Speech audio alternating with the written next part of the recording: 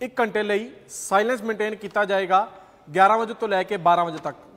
ਪਿਛਲੀ ਵਾਰ ਜਦੋਂ ਪੰਜਾਬ ਸਰਕਾਰ ਨੇ ਕਰੋਨਾ ਵਾਇਰਸ ਦੇ ਵੱਧਦੇ ਕੇਸਾਂ ਨੂੰ ਮੱਦੇਨਜ਼ਰ ਗਾਈਡਲਾਈਨਸ ਜਾਰੀ ਕੀਤੀਆਂ ਸੀਗੀਆਂ, ਨਵੀਂ ਗਾਈਡਲਾਈਨਸ ਦੌਰਾਨ ਕੈਪਟਨ ਅਮਰਿੰਦਰ ਸਿੰਘ ਨੇ ਪੰਜਾਬ ਵਾਸੀਆਂ ਨਾਲ ਅਪੀਲ ਕੀਤੀ ਸੀਗੀ ਕਿ ਆਉਣ ਵਾਲੇ ਸ਼ਨੀਵਾਰ, ਯਾਨੀ ਕਿ ਕੱਲ ਤੋਂ ਤੇ ਅਗਲੇ ਹੁਕਮਾਂ ਤੱਕ, ਮਤਲਬ ਕੱਲ ਦਾ ਸ਼ਨੀਵਾਰ ਵੀ ਔਰ ਅਗਲੇ ਸ਼ਨੀਵਾਰ ਤੱਕ ਜਦੋਂ ਤੱਕ ਸਰਕਾਰ ਆਪਣਾ ਇਹ ਹੁਕਮ ਬਦਲਦੀ ਨਹੀਂ ਹੈ, ਉਦੋਂ ਤੱਕ ਹਰ ਸ਼ਨੀਵਾਰ ਨੂੰ 11 ਵਜੇ ਤੋਂ ਲੈ ਕੇ 12 ਵਜੇ, ਦੁਪਹਿਰ 12 ਵਜੇ, ਸਵੇਰੇ 11 ਵਜੇ ਤੋਂ ਲੈ ਕੇ ਦੁਪਹਿਰ 12 ਵਜੇ ਤੱਕ 1 ਘੰਟੇ ਲਈ ਸਾਇਲੈਂਸ ਮੇਨਟੇਨ ਕਰਨਾ ਹੈ ਉਹਨਾਂ ਲੋਕਾਂ ਲਈ ਜਿਨ੍ਹਾਂ ਨੇ ਕਰੋਨਾ ਵਾਇਰਸ ਦੀ ਜੰਗ ਵਿੱਚ ਆਪਣੀ ਜਾਨ ਗਵਾਈ ਹੈ, ਜੋ ਕਰੋਨਾ ਵਾਇਰਸ ਦੀ ਜੰਗ ਨਹੀਂ ਜਿੱਤ ਪਾਏ, ਉਹਨਾਂ ਲੋਕਾਂ ਨੂੰ ਸ਼ਰਧਾਂਜਲੀ ਦਿੰਦੇ ਹੋਇਆ ਇੱਕ ਸੂਬੇ ਦੇ ਵਿੱਚ ਸਾਇਲੈਂਸ ਯਾਨੀ ਕਿ ਸ਼ਾਂਤਮਈ ਇੱਕ ਮੈਸੇਜ ਦੇਣਾ ਹੈ, ਸ਼ਾਂਤੀ ਰਖ ਬਣਾਏ ਰੱਖਣੀ ਹੈ, ਇਸ ਤਰ੍ਹਾਂ ਦਾ ਇੱਕ maintain message maintain silence maintain ਕਰਕੇ ਇੱਕ ਮੈਸੇਜ ਦੇਣਾ ਹੈ। ਉਹ ਕੀ ਹੋਏਗਾ ਕਿ ਪੰਜਾਬ ਸਰਕਾਰ ਕਹਿ ਰਹੀ ਹੈ ਕਿ ਇਸ ਦੌਰਾਨ ਸਵੇਰੇ 11 ਵਜੇ ਤੋਂ ਲੈ ਕੇ ਦੁਪਹਿਰ 12 ਵਜੇ ਤੱਕ ਯਾਨੀ ਕਿ 1 ਘੰਟਾ ਕੋਈ ਵੀ ਗੱਡੀ ਜਿਹੜੀ ਹੈ ਰੋਡ ਤੇ ਨਹੀਂ ਆਏਗੀ। ਇਸ ਤਰ੍ਹਾਂ ਸ਼ਾਂਤੀ ਦਾ ਮੈਸੇਜ ਦਿੱਤਾ ਜਾਏਗਾ ਉਹਨਾਂ ਲੋਕਾਂ ਨੂੰ ਜੋ ਕਰੋਨਾ ਵਾਇਰਸ ਦੀ ਜੰਗ ਹਾਰ ਚੁੱਕੇ ਨੇ। ਹੁਣ ਕਨਫਿਊਜ਼ਨ ਲੋਕਾਂ ਦੇ ਵਿੱਚ ਬੜੀ ਵੱਡ- ਵੱਡੀ ਪੈਦਾ ਹੋ ਰਹੀ ਹੈ ਕਿ ਜੇ ਇੱਕ ਘੰਟਾ ਇੱਕ ਘੰਟਾ ਬਹੁਤ ਵੱਡਾ ਸਮਾਂ ਔਰ ਇਹ 11 ਵਜੇ ਸ਼ੁਰੂ ਹੋਏਗਾ, ਜਦੋਂ ਤੱਕ ਜਿਹੜੇ ਸ਼ਹਿਰ ਨੇ, ਵੱਡੇ ਸ਼ਹਿਰ ਨੇ, ਉਹ ਕਾਫੀ ਇਸ ਇਸ ਦੌਰਾਨ ਇਸ ਸਮੇਂ 'ਚ ਰਸ਼ ਹੁੰਦਾ ਹੈ, ਸੜਕਾਂ ਤੇ ਪੂਰਾ ਸ਼ਹਿਰ ਚੱਲ ਚੁੱਕ- ਚੁੱਕਿਆ ਹੁੰਦਾ ਹੈ, ਲੋਕ ਦਫ਼ਤਰਾਂ ਨੂੰ ਜਾ ਚੁੱਕੇ ਹੁੰਦੇ ਨੇ, ਬਾਜ਼ਾਰ ਖੁੱਲ ਗਏ ਹੁੰਦੇ ਨੇ ਇਸ ਦੌਰਾਨ 11 ਵਜੇ ਤੋਂ ਲੈ ਕੇ 12 ਵਜੇ ਤੱਕ ਜਿਹੜਾ ਹੈ ਸਾਇਲੈਂਸ ਮੇਨਟੇਨ ਕਰਨਾ ਹੈ ਕਿਵੇਂ ਹੋਏਗਾ? ਇਹ ਵੱਡਾ ਸਵਾਲ ਸੀਗਾ, ਵੱਡੀ ਕਨਫਿਊਜ਼ਨ ਸੀਗੀ, ਇਸੇ ਕਰਕੇ ਤੁਹਾਡੀ ਕਨਫਿਊਜ਼ਨ ਦੂਰ ਕਰਨ ਲਈ ਉਹਨਾਂ- ਮੈਂ ਤੁਹਾਨੂੰ ਇਹ ਜਾਣਕਾਰੀ ਦੇ ਰਿਹਾ। ਕੱਲ ਇੱਕ ਅਹਿਮ ਦਿਨ ਵੀ ਹੈ, ਕਿਉਂਕਿ ਇਸ ਜਿਹੜਾ ਤੁਸੀਂ ਸਾਇਲੈਂਸ ਮੇਨਟੇਨ ਕਰਨਾ, ਇਹਨੂੰ ਇਹ ਸਮਝ ਕੇ ਚੱਲੋ ਕਿ ਪੰਜਾਬ ਦੇ ਵਿੱਚ ਕੱਲ ਸਵੇਰੇ 11 ਵਜੇ ਤੋਂ ਲੈ ਕੇ 12 ਵਜੇ ਤੱਕ, ਦੁਪਹਿਰ 12 ਵਜੇ ਤੱਕ 1 ਘੰਟੇ ਲਈ ਪੂਰੇ ਪੰਜਾਬ ਦੇ ਵਿੱਚ ਕਰਫਿਊ ਹੀ ਲੱਗਣਾ ਹੈ। ਕਰਫਿਊ ਮੰਨ ਕੇ ਚੱਲੋ, ਤੁਸੀਂ ਘਰੋਂ ਬਾਹਰ ਨਹੀਂ ਨਿਕਲ ਸਕਦੇ, ਤੁਸੀਂ ਜੇ ਪੈਦਲ ਨਿਕਲਣਾ ਤੇ ਨਿਕਲ ਸਕਦੇ ਹੋ, ਜੇ ਤੁਸੀਂ ਕੋਈ ਵਹੀਕਲ ਲੈ ਕੇ 11 ਵਜੇ ਤੋਂ ਲੈ ਕੇ 12 ਵਜੇ ਤੱਕ ਨਿਕਲੋਗੇ, ਤਾਂ ਹੋ ਸਕਦਾ ਪੁਲਿਸ ਤੁਹਾਡੇ ਤੇ ਸਖਤ ਕਾਰਵਾਈ ਕਰੇ।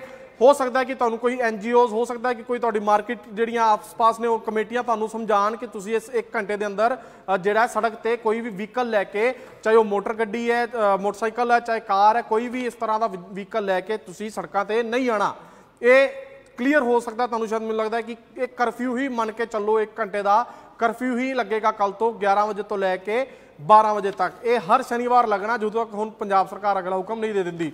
ਹੁਣ ਤੁਹਾਡੇ ਅੰਦਰ ਇਹ ਕਨਫਿਊਜ਼ਨ ਹੋਏਗੀ ਕਿ ਜਿਹੜੇ ਲੋਕ 10:30 ਵਜੇ ਸੜਕਾਂ ਤੇ ਨੇ, ਪੌਣੇ 11 ਵਜੇ ਸੜਕਾਂ ਤੇ ਨੇ 10:50 ਤੇ ਸੜਕਾਂ ਤੇ ਨੇ, ਕੀ ਜਿਹੜੀ ਇਹ 11 ਜਿੱਦਾਂ ਹੀ 11 ਵੱਜਣਗੇ ਤੇ ਕੀ ਇਹ ਸੜਕਾਂ ਜਿਹੜੀਆਂ ਨੇ ਉਸੇ ਵੇਲੇ ਜਾਮ ਹੋ ਜਾਣਗੀਆਂ। ਕੀ ਇਹ ਵਹੀਕਲਸ ਜਿਹੜੇ ਨੇ, ਮੋਟਰਸਾਈਕਲ, ਗੱਡੀਆਂ ਜਿਹੜੀਆਂ ਉਸ ਵੇਲੇ ਸੜਕਾਂ ਤੇ ਤੁਰ ਰਹੀਆਂ ਹੋਣਗੀਆਂ, ਕੀ ਉੱਥੇ ਹੀ ਰੁਕਣਾ ਪਏਗਾ ਤੁਹਾਨੂੰ? ਤਾਂ ਅਜਿਹਾ, ਅਜਿਹੀ ਕਨਫਿਊਜ਼ਨ ਦੂਰ ਕਰਨ ਲਈ ਅਸੀਂ ਵੱਖ-ਵੱਖ ਜ਼ਿਲ੍ਹਿਆਂ ਦੇ ਡੀਸੀ ਐਸਐਸਪੀਐਸ ਨਾਲ ਗੱਲ ਕਰਕੇ ਇਹ ਜਾਣਨ ਦੀ ਕੋਸ਼ਿਸ਼ ਕੀਤੀ ਕਿ ਜਿਹੜੀ ਇਹ ਅਪੀਲ ਕੀਤੀ ਗਈ ਹੈ ਮੁੱਖ ਮੰਤਰੀ ਵੱਲੋਂ, ਇਹਨੂੰ ਲਾਗੂ ਕਿਵੇਂ ਕਰਵਾਉਣਾ ਹੈ? ਤੇ ਸਭ ਤੋਂ ਪਹਿਲਾਂ ਜਦੋਂ ਸਾਡੀ ਲੁਧਿਆਣੇ ਦੇ ਡੀਸੀ ਨਾਲ ਗੱਲ ਹੋਈ, ਤਾਂ ਉਹਨਾਂ ਨੇ ਇਹ ਦੱਸਿਆ ਕਿ ਜਿਹੜੇ ਮੇਨ ਰੋਡ ਤੇ ਵਹੀਕਲ ਚੱਲਨੇ ਅਸੀਂ ਉਹਨਾਂ ਨੂੰ ਨਹੀਂ ਰੋਕਾਂਗੇ। ਅਸੀਂ ਅਪੀਲ ਕਰ ਰਹੇ ਹਾਂ ਲੋਕਾਂ ਨੂੰ ਕਿ ਇੱਕ ਇਹ ਏਕਤਾ ਦਾ ਮੈਸੇਜ ਦਿਓ ਇਹ ਆਪਣੀ ਜ਼ਿੰਮੇਵਾਰੀ ਸਮਝੋ, ਇੱਕ ਸੰਦੇਸ਼, ਵਧੀਆ ਸ਼ਾਂਤੀ ਦਾ ਸੰਦੇਸ਼ ਦਿਓ ਤੇ ਆਪ ਹੀ ਘਰੋਂ ਬਾਹਰ ਨਾ ਨਿਕਲੋ, ਆਪ ਹੀ ਕੋਈ ਵਹੀਕਲ ਲੈ ਕੇ ਸੜਕਾਂ ਤੇ ਨਾ ਆਓ, ਚਾਹੇ ਉਹ ਮੋਟਰਸਾਈਕਲ ਹੈ, ਚਾਹੇ ਉਹ ਕੋਈ ਕਾਰ ਹੈ। ਇਹ ਲੁਧਿਆਣੇ ਦੇ ਡੀਸੀ ਕਹਿੰਦੇ ਨੇ। ਫਿਰ ਅਸੀਂ ਸਵਾਲ ਕੀਤਾ ਕਿ ਕੀ ਸਿਰਫ ਤੁਹਾਡੀ ਅਪੀਲ ਹੈ ਜਾਂ ਫਿਰ ਤੁਸੀਂ ਸਖਤੀ ਵੀ ਕਰੋਗੇ? ਤਾਂ ਫਿਰ ਡੀਸੀ ਕਹਿੰਦੇ ਨੇ, ਅਸੀਂ ਸਖਤੀ ਵੀ ਕਰਾਂਗੇ। ਸਖਤੀ ਉੱਥੇ ਉਸ ਥਾਵਾਂ ਤੇ ਹੋਏਗੀ, ਜਿੱਦਾਂ ਕਿ ਕੋਈ ਬਾਜ਼ਾਰ ਹੈ। ਮੰਨ ਲਓ ਕੋਈ ਬਾਜ਼ਾਰ ਹੈ। ਬਾਜ਼ਾਰ 'ਚ ਤੁਸੀਂ 11 ਵਜੇ ਤੋਂ ਲੈ ਕੇ 12 ਵਜੇ ਮੂਵ ਨਹੀਂ ਹੋ ਸਕਦੇ। ਘਰੋਂ ਤੁਸੀਂ ਛੋਟੀ ਕਲੋਨੀਆਂ ਜਿਹਦੇ ਮਹੱਲਿਆਂ ਤੋਂ ਤੁਸੀਂ ਬਾਹਰ ਨਹੀਂ ਆ ਸਕਦੇ। ਜੇ ਤੁਸੀਂ ਮੇਨ ਰੋਡ ਤੋਂ ਨਿਕਲ ਰਹੇ ਹੋ, ਮੰਨ ਲਓ ਮੈਂ ਲੁਧਿਆਣੇ ਦੀ ਐਗਜ਼ਾਮਪਲ ਦੇ ਰਿਹਾ ਤੁਹਾਨੂੰ। ਜੇ ਤੁਸੀਂ ਜਲੰਧਰ ਤੋਂ ਲੁਧਿਆਣੇ ਜਾ ਰਹੇ ਹੋ, ਤਾਂ 11 ਵਜੇ ਤੁਸੀਂ ਲੁਧਿਆਣੇ ਦੇ ਅੰਦਰ ਐਂਟਰ ਕਰਦੇ ਹੋ, ਤਾਂ ਤੁਹਾਨੂੰ ਉੱਥੇ ਗੱਡੀ ਰੋਕਣ ਦੀ ਜ਼ਰੂਰਤ ਨਹੀਂ ਹੈ। ਤੁਸੀਂ ਹਾਈਵੇਜ਼ ਤੇ ਜਿਹੜੀਆਂ ਮੇਨ ਰੋਡਸ ਨੇ, ਉਹਦੇ ਤੇ ਤੁਸੀਂ ਲੰਘ ਸਕਦੇ ਹੋ। ਉੱਥੇ ਤੁਹਾਨੂੰ ਨਹੀਂ ਰੋਕਿਆ ਜਾਵੇਗਾ। ਪਰ ਜਿਹੜੇ ਲੁਧਿਆਣੇ ਦੇ ਲੋਕਲ ਲੋਕ ਨੇ, ਉਹ 11 ਵਜੇ ਕੋਈ ਵੀ ਆਪਣਾ ਕੰਮ ਕਰਨ ਵਾਸਤੇ ਨਾ ਨਿਕਲਣ। ਅਜਿਹੀ ਜਗ੍ਹਾ ਤੇ ਨਾ ਜਾਣ, ਅਜਿਹੀ ਸਮੇਂ ਤੇ ਨਾ ਨਿਕਲਣ, ਜਿੱਥੇ ਉਹ ਆਪਣੀ ਮੰਜ਼ਲ ਤੱਕ 11 ਵਜੇ ਤੋਂ ਜਾਂ 12 ਵਜੇ ਤੱਕ ਨਹੀਂ ਪਹੁੰਚ ਪਾਉਂਦੇ। ਮੰਨ ਲਓ, ਤੁਸੀਂ 10:50 ਤੇ ਕਿੱਥੋਂ ਨਿਕਲਦੇ ਹੋ ਜਾਂ 10:30 ਵਜੇ ਨਿਕਲਦੇ ਹੋ ਹੋ ਸਕਦਾ ਕਿ ਜਿਹੜੀ ਤੁਹਾਡੀ ਮੰਜ਼ਿਲ ਹੈ ਉੱਥੇ ਤੁਸੀਂ ਸਵਾ 11 ਵਜੇ ਤੱਕ ਪਹੁੰਚਣਾ ਜਾਂ 11:30 ਵਜੇ ਤੱਕ ਪਹੁੰਚਣਾ ਲੁਧਿਆਣੇ ਦੇ ਅੰਦਰ ਅੰਦਰ ਹੀ, ਤਾਂ ਫਿਰ ਤੁਹਾਨੂੰ ਨਹੀਂ ਨਿਕਲਣਾ ਚਾਹੀਦਾ, ਘਰੋਂ ਤੁਸੀਂ ਉਹ ਕੰਮ ਆਪਣਾ ਜਿਹੜਾ ਹੈ 12 ਵਜੇ ਤੋਂ ਬਾਅਦ ਕਰਿਓ ਜਾਂ ਫਿਰ 11 ਵਜੇ ਤੋਂ ਪਹਿਲਾਂ ਪਹਿਲਾਂ ਆਪਣੀ ਮੰਜ਼ਿਲ ਤੇ ਪਹੁੰਚ ਜਾਈਓ। ਇਹਦੇ ਤੇ ਲੁਧਿਆਣਾ ਦੇ ਡੀਸੀਏ ਕਹਿੰਦੇ ਨੇ ਕਿ ਅਸੀਂ ਸਖਤੀ ਵੀ ਕਰਾਂਗੇ। ਪੁਲਿਸ ਜਿਹੜੀ ਹੈ ਲਾਅ ਐਂਡ ਆਰਡਰ ਜਿਹੜੀ ਦੇਖ ਰਹੀ ਹੈ, ਉਹ ਸਖਤੀ ਵੀ ਕਰ ਸਕਦੀ ਹੈ। ਲੋਕਾਂ ਨੂੰ ਉਹ ਸੁਭਾਵਕ ਹੈ ਕਿ ਸਖਤੀ ਦਾ ਮਤਲਬ ਇਹੀ ਹੋ ਸਕਦਾ ਹੈ ਕਿ ਤੁਹਾਡੇ ਚਲਾਨ ਵੀ ਹੋ ਸਕਦੇ ਨੇ। ਹਾਲਾਂਕਿ ਸੀਐਮ ਕੈਪਟਨ ਨੇ ਕਿਹਾ ਕਿ ਜਿਹੜੀ ਐਨਜੀਓਜ਼ ਨੇ ਜਾਂ ਕੋਈ ਮਾਰਕੀਟ ਕਮੇਟੀਆਂ ਨੇ, ਇਹਨਾਂ ਨੂੰ, ਪੁਲਿਸ ਨੂੰ ਆਪਣੇ ਨਾਲ ਰਲਾ ਕੇ ਐਡਮਿਨਿਸਟ੍ਰੇਸ਼ਨ ਨੂੰ ਆਪਣੇ ਨਾਲ ਮਿਲਾ ਕੇ ਇਹ ਅਪੀਲ ਕਰਨੀ ਚਾਹੀਦੀ ਲੋਕਾਂ ਨੂੰ ਕਿ ਇਸ ਟਾਈਮ ਤੇ ਲੋਕ ਆਪ ਮੁਹਾਰੇ ਹੀ ਬਾਹਰ ਨਾ ਨਿਕਲਣ। ਪਰ ਬਾਵਜੂਦ ਇਸ ਦੇ, ਜੇ ਤੁਸੀਂ ਬਾਹਰ ਨਿਕਲਦੇ ਹੋ ਤੇ ਪੁਲਿਸ ਨੇ ਸਖਤੀ ਦਾ ਪ੍ਰਬੰਧ ਵੀ ਕੀਤਾ ਹੋਇਆ, ਸਖਤੀ ਵੀ ਵਰਤੀ ਜਾ ਸਕਦੀ ਹੈ। ਤੁਹਾਡੇ ਤੇ ਮੈਂ ਫਿਰ ਕਲੀਅਰ ਕਰ ਰਿਹਾ, ਲੁਧਿਆਣੇ ਦੇ ਡੀਸੀ ਕਹਿੰਦੇ ਨੇ, ਜਿਹੜੀਆਂ ਮੇਨ ਰੋਡਸ ਨੇ, ਉਹਦੇ ਤੇ ਜੇ ਤੁਸੀਂ ਟਰੈਵਲ ਕਰ ਰਹੇ ਹੋ ਤੇ ਉੱਥੇ ਤੁਹਾਨੂੰ ਨਹੀਂ ਰੋਕਿਆ ਜਾਵੇਗਾ।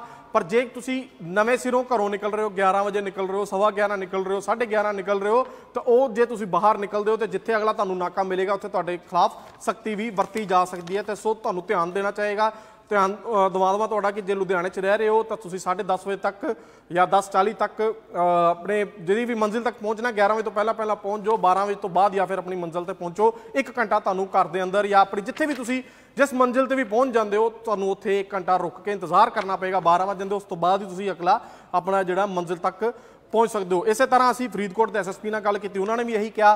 ਫਰੀਦਕੋਟ ਦੇ ਐਸਐਸਪੀ ਕਹਿੰਦੇ ਨੇ ਕਿ ਅਸੀਂ ਜਿਹੜੇ ਸਟੇਟ ਹਾਈਵੇਜ਼ ਤੇ ਨੈਸ਼ਨਲ ਹਾਈਵੇਜ਼ ਤੇ ਜੋ ਲੋਕ ਟਰੈਵਲ ਕਰ ਰਹੇ ਨੇ, ਉਹਨਾਂ ਨੂੰ ਨਹੀਂ ਰੋਕਾਂਗੇ, ਪਰ ਜਿਹੜੇ ਸ਼ਹਿਰ ਦੇ ਅੰਦਰ ਲੋਕ ਨੇ, ਉਹਨਾਂ ਨੂੰ ਆਪਾਂ ਅਪੀਲ ਵੀ ਕਰਾਂਗੇ, ਅਪੀਲ ਦੇ ਨਾਲ ਨਾਲ ਸਖਤੀ ਵੀ ਵਿਖਾਵਾਂਗੇ। ਇਹ ਐਸਐਸਪੀ ਦਾ ਕਹਿਣਾ ਕਿ ਪਹਿਲੀ ਵਾਰ ਇਦਾਂ ਹੋਏਗਾ ਕਿ ਸਖਤੀ ਦੇ ਨਾਲ ਨਾਲ ਪੁਲਿਸ ਅਪੀਲ ਵੀ ਕਰ ਰਹੀ ਹੈ ਔਰ ਸਖਤੀ ਵੀ ਵਿਖਾਏਗੀ। ਤੇ ਫਰੀਦਕੋਟ 'ਚ ਵੀ ਇਹੀ ਹਾਲ ਰਹਿਣ ਵਾਲਾ ਹੈ।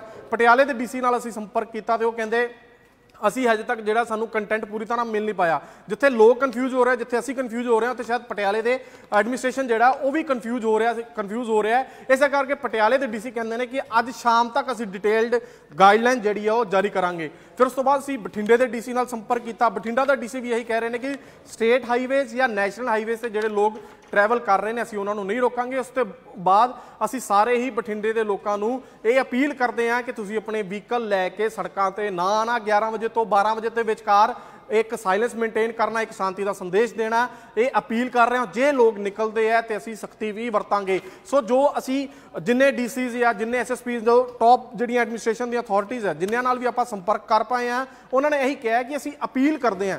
ਕਿਉਂਕਿ ਮੈਂ ਤੁਹਾਨੂੰ ਇੱਥੇ ਕਲੀਅਰ ਕਰ ਦਵਾਂ, ਪੰਜਾਬ ਸਰਕਾਰ ਨੇ ਵੀ ਇਹ ਇਹ ਰੱਖ ਤੇ ਦਿੱਤਾ ਪ੍ਰੋਗਰਾਮ ਇਹਦੀ ਡਿਟੇਲਡ ਗਾਈਡਲਾਈਨਸ ਜਾਰੀ ਨਹੀਂ ਕੀਤੀਆਂ। ਨਾ ਹੀ ਪ੍ਰਸ਼ਾਸਨ ਨੇ, ਨਾ ਹੀ ਲੋਕਲ ਲੈਵਲ ਦੇ ਪ੍ਰਸ਼ਾਸਨ ਨੇ ਗਾਈਡਲਾਈਨਸ ਜਾਰੀ ਕੀਤੀਆਂ, ਨਾ ਹੀ ਖੁਦ ਪੰਜਾਬ ਸਰਕਾਰ ਨੇ ਇਸ ਜਿਹੜਾ ਪ੍ਰੋਗਰਾਮ ਮਿੱਥਿਆ ਗਿਆ ਹੈ, ਇਹਦੀ ਕੋਈ ਡਿਟੇਲ ਗਾਈਡਲਾਈਨ ਜਾਰੀ ਕੀਤੀ ਹੈ। ਅਸੀਂ ਤਾਈਓ ਤੁਹਾਡੇ ਜਿਹੜੇ ਸਵਾਲ ਨੇ, ਇਹ ਲੈ ਕੇ ਐਡਮਿਨਿਸਟ੍ਰੇਸ਼ਨ ਕੋਲ ਗਏ, ਵੱਖ-ਵੱਖ ਜ਼ਿਲ੍ਹਿਆਂ ਦੇ ਐਸਐਸਪੀ ਡੀਸੀਜ਼ ਕੋਲ ਗਏ। ਅਸੀਂ ਉਹਨਾਂ ਕੋਲ ਪੁੱਛਿਆ, ਤੇ ਉਹ ਵੀ ਹਜੇ ਥੋੜੇ-ਥੋੜੇ ਕਨਫਿਊਜ਼ ਲੱਗਦੇ ਨੇ ਕਿ ਕਿਵੇਂ ਰੋਕਿਆ ਜਾਏਗਾ, ਕਿਉਂਕਿ ਸਵਾਲ ਇਹ ਉੱਠਦਾ ਸੀ ਕਿ ਜਿਹੜੀਆਂ ਗੱਡੀਆਂ, ਜਿਹੜੇ ਵਹੀਕਲ 11 ਵਜੇ ਤੱਕ ਸੜਕਾਂ ਤੇ ਨੇ, ਕਿ ਕੀ ਉਹ ਸਾਈਡ ਤੇ ਲੱਗ ਜਾਣਗੀਆਂ ਉਸ ਵੇਲੇ 11 ਵਜੇ ਤੋਂ ਲੈ ਕੇ 12 ਵਜੇ ਤੱਕ, ਕਿ ਸੜਕਾਂ ਤੇ ਜਾਮ ਲੱਗ ਜਾਏਗਾ?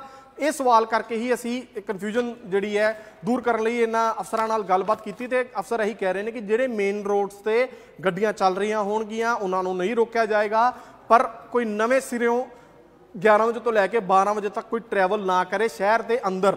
ਸਟੇਟ ਹਾਈਵੇਜ਼ ਤੇ ਨੈਸ਼ਨਲ ਹਾਈਵੇਜ਼ ਤੇ ਕੋਈ ਰੋਕ ਨਹੀਂ ਹੈ। ਜੇ ਮੰਨ ਲਓ ਤੁਸੀਂ ਅ, 10 ਵਜੇ ਜਲੰਧਰੋਂ ਨਿਕਲਦੇ ਹੋ ਦਿੱਲੀ ਜਾ ਰਹੇ ਹੋ ਤੇ ਜੇ ਤੁਸੀਂ 11 ਵਜੇ ਲੁਧਿਆਣੇ ਪਹੁੰਚਦੇ ਹੋ ਜਾਂ 12 ਵਜੇ ਤੱਕ ਤੁਸੀਂ ਖੰਨੇ ਪਹੁੰਚਦੇ ਹੋ ਤੁਹਾਨੂੰ ਨਹੀਂ ਰੋਕਿਆ ਜਾਏਗਾ, ਤੁਹਾਨੂੰ ਰੋਕਣ ਦੀ ਕੋਈ ਲੋੜ ਨਹੀਂ ਹੈ। ਤੁਸੀਂ ਲੁਧਿਆਣੇ ਅੰਮ੍ਰਿਤਸਰ ਟਰੈਵਲ ਕਰ ਰਹੇ ਹੋ, ਜਲੰਧਰ 11 ਵੱਜ ਜਾਂਦੇ ਨੇ ਜਾਂ 12 ਤੁਹਾਨੂੰ ਅੰਮ੍ਰਿਤਸਰ ਪਹੁੰਚਦੇ ਵੱਜ ਜਾਂਦੇ ਨੇ, ਤਾਂ ਤੁਹਾਨੂੰ ਕਿੱਥੇ ਰੁਕਣ ਦੀ ਲੋੜ ਨਹੀਂ ਹੈ। ਤੁਸੀਂ ਹਾਈਵੇਜ਼ ਤੇ ਨੈਸ਼ਨਲ ਹਾਈਵੇਜ਼ ਤੇ ਇੰਟਰਸਿਟੀ ਇੰਟਰਸਟੇਟ ਕੱਲ ਟਰੈਵਲ ਕਰ ਸਕਦੇ ਹੋ 11 ਵਜੇ ਤੋਂ ਲੈ ਕੇ 12 ਵਜੇ ਤੱਕ ਜਾਂ ਫਿਰ ਤੁਸੀਂ ਸਵੇਰੇ ਵੀ ਤੁਰੇ ਹੋ, ਜੇ ਦਿੱਲੀੋਂ ਤੁਸੀਂ ਪੰਜਾਬ ਆ ਰਹੇ ਹੋ, ਤਾਂ ਵੀ ਤੁਸੀਂ 11 ਵਜੇ ਜਾਂ 12 ਵਜੇ ਵੀ ਪੰਜਾਬ ਪਹੁੰਚੋਗੇ, ਤਾਂ ਤੁਹਾਨੂੰ ਕੋਈ ਨਹੀਂ ਰੋਕੇਗਾ। ਪਰ ਜੇ ਤੁਸੀਂ ਸ਼ਹਿਰ ਦੇ ਅੰਦਰ ਰਹਿੰਦੇ ਹੋ ਤਾਂ ਫਿਰ ਤੁਹਾਨੂੰ ਜਿੱਥੇ ਤੁਸੀਂ 11 ਵਜੇ ਤੱਕ ਪਹੁੰਚ ਗਏ ਹੋਗੇ ਮੰਨ ਲਓ ਮੈਂ ਸਵੇਰੇ ਅ, 10:30 ਵਜੇ ਕਿੱਥੇ ਨਿਕਲਿਆ ਤੇ ਮੈਂ ਆਪਣੀ ਮੰਜ਼ਿਲ ਤੇ 10:50 ਤੇ ਪਹੁੰਚ ਗਿਆ ਮੇਰਾ ਉੱਥੇ ਕੰਮ ਪੂਰਾ ਹੋ ਗਿਆ ਪਰ ਮੈਂ 11 ਵਜੇ ਉੱਥੋਂ ਨਹੀਂ ਤੁਰਾਂਗਾ ਮੈਂ 12 ਵਜੇ ਉੱਥੋਂ ਤੁਰਾਂਗਾ ਕਿਉਂਕਿ ਹੋ ਸਕਦਾ ਕਿ ਜਿਹੜੀ ਲੋਕਲ ਪੁਲਿਸ ਆ ਮੇਰੇ ਖਿਲਾਫ ਸਖਤੀ ਵਰਤੇ। ਜੇ ਤੁਸੀਂ ਸਖਤੀ ਤੋਂ ਬਚਣਾ ਹੈ ਜਾਂ ਫਿਰ ਜੋ ਸੀਐਮ ਕੈਪਟਨ ਦਾ ਮੈਸੇਜ ਹੈ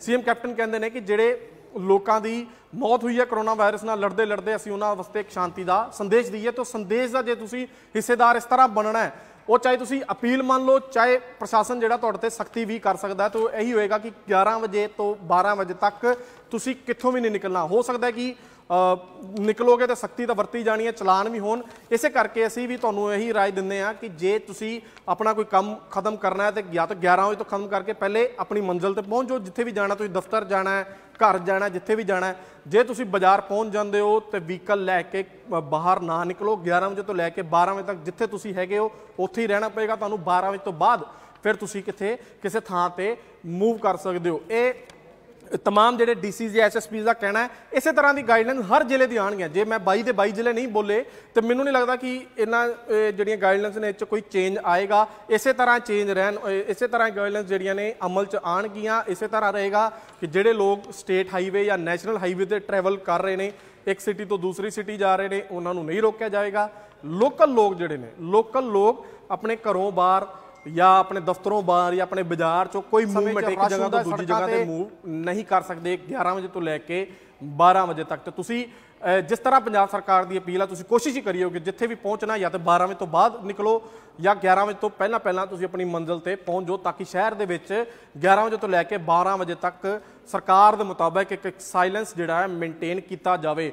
ਨਹੀਂ ਤਾਂ ਹੋ ਸਕਦਾ ਹੈ ਕਿ ਤੁਹਾਡੇ ਖਿਲਾਫ ਹਰ ਪ੍ਰਸ਼ਾਸਨ ਜਿਹੜਾ ਸਖਤ ਕਾਰਵਾਈ ਹਰ ਜ਼ਿਲ੍ਹੇ ਦੇ ਵਿੱਚ ਕਰੇ ਹੀ ਕਰੇ, ਕਿਉਂਕਿ ਜਿੱਥੇ, ਜਿੰਨੇ ਪ੍ਰਸ਼ਾਸਨ ਅਧਿਕਾਰੀਆਂ ਨਾਲ ਆਪਾਂ ਹੁਣ ਤੱਕ ਗੱਲ ਕੀਤੀ, ਉਹ ਇਹੀ ਕਹਿ ਰਹੇ ਨੇ ਕਿ ਅਸੀਂ ਜਿੱਥੇ ਮਾਰਕੀਟ ਕਮੇਟੀਆਂ ਨੂੰ ਐਨਜੀਓਜ਼ ਨੂੰ ਅਪੀਲ ਕਰ ਰਹੇ ਹਾਂ ਕਿ ਸਾਡੇ ਨਾਲ ਮਿਲ ਕੇ ਲੋਕਾਂ ਨੂੰ ਇਹ ਗੱਲ ਦਾ, ਇਹ ਮੈਸੇਜ ਪਹੁੰਚਾਇਆ ਜਾਵੇ ਕਿ ਕੱਲ ਸ਼ਾਂਤੀ ਦਾ ਸੰਦੇਸ਼ ਦਿੱਤਾ ਜਾਵੇ ਸਾਇਲੈਂਸ ਮੇਨਟੇਨ ਕੀਤੀ ਜਾਵੇ, ਉੱਥੇ ਹੀ ਅਸੀਂ ਸਖਤੀ ਵੀ ਵਰਤਾਂਗੇ। ਸਖਤੀ ਵਰਤਣ ਦਾ ਮਤਲਬ ਉਹੀ ਹੈ ਕਿ ਜਿਸ ਤਰ੍ਹਾਂ ਕਰਫਿਊ ਲੱਗਦਾ ਹੈ, ਪੁੱਛਗਿੱਛ ਹੋਏਗੀ, ਚਲਾਨ ਵੀ ਹੋ ਸਕਦਾ ਹੈ, ਤੇ ਕਰਫਿਊ ਦੀਆਂ ਪਿਛਲੇ ਸਾਲ ਦੀਆਂ ਤਸਵੀਰਾਂ ਤੁਹਾਨੂੰ ਯਾਦ ਹੀ ਹੋਣਗੀਆਂ। ਆਪਾਂ ਪੁਲਿਸ ਨੂੰ ਜਾਂ ਅਧਿਕਾਰੀਆਂ ਨੂੰ ਜਾਂ ਪ੍ਰਸ਼ਾਸਨ ਨੂੰ ਇਸ ਤਰ੍ਹਾਂ ਦਾ ਮੌਕਾ ਹੀ ਨਾ ਦਈਏ ਕਿ ਉਹ ਪਿਛਲੀ ਵਾਰ ਵਾਲੀਆਂ ਜਿਹੜੀਆਂ ਕਰਫਿਊ ਵਾਲੀਆਂ ਤਸਵੀਰਾਂ ਸੀਗੀਆਂ, ਉਹ ਦੁਬਾਰਾ ਵੇਖਣ ਨੂੰ ਮਿਲਣ। ਤਾਂ ਜੋ ਸਰਕਾਰ ਜਾਂ ਪ੍ਰਸ਼ਾਸਨ ਜਿਸ ਤਰ੍ਹਾਂ ਗਾਈਡਲਾਈਨਸ ਤੁਹਾਡੇ ਜ਼ਿਲ੍ਹੇ ਦਾ ਅਧਿਕਾਰੀ ਦੇਣ ਗਿਆ ਸ਼ਾਮ ਤੱਕ, ਉਹਨੂੰ ਮੇਨਟੇਨ ਕਰਨਾ। ਮੋਟੇ-ਮੋਟੀ ਗਾਈਡਲਾਈਨਸ ਇਹੀ ਨੇ ਕਿ ਸਟੇਟ ਹਾਈਵੇ ਜਾਂ ਨੈਸ਼ਨਲ ਹਾਈਵੇ ਤੇ ਜੋ ਤੁਸੀਂ ਟਰੈਵਲ ਕਰ ਰਹੇ ਹੋ, ਤੁਹਾਨੂੰ ਕੋਈ ਨਹੀਂ ਰੋਕੇਗਾ।